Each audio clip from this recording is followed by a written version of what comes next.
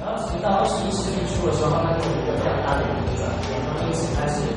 他们把中国电脑开始走向一个白色的一个状态。然后